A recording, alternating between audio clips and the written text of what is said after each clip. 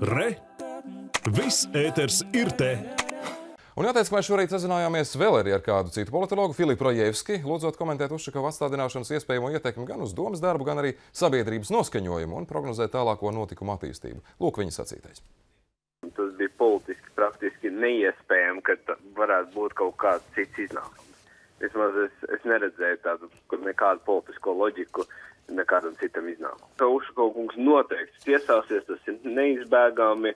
Viņš ir solījis, un viņš, viņam ir arī, vajag atcerēties šobrīd, uh, priekšvēlēšana kampaņa. Viņš ir balotējās uz Eiropas parlamentu, un viņa vēlētājiem tas ir uh, svarīgi redzēt, ka viņš spirinās pretī.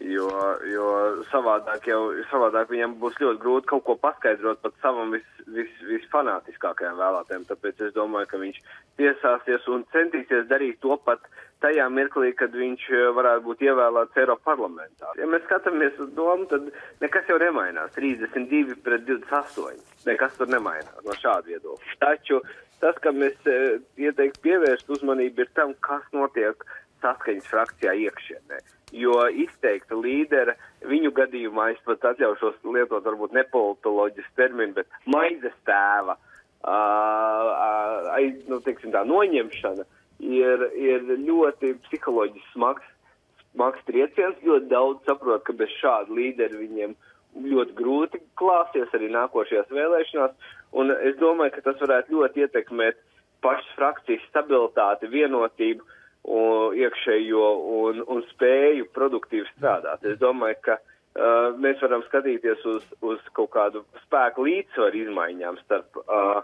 godskalpot Rīgai un saskaņu. Un es tā kā vairāk prognozētu, ka tas būtu godskalpot Rīgai uh, vairāk tāda politiskās ietekmes pieauguma.